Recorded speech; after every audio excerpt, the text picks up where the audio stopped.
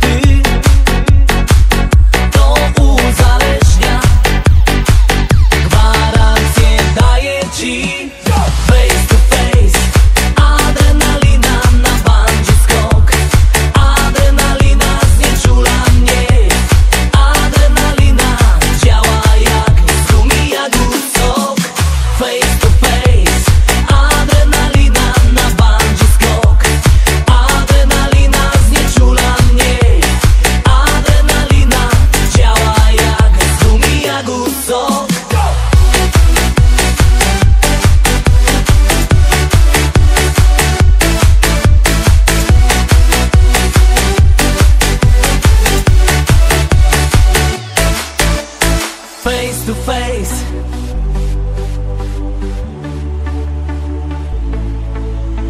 Face to face.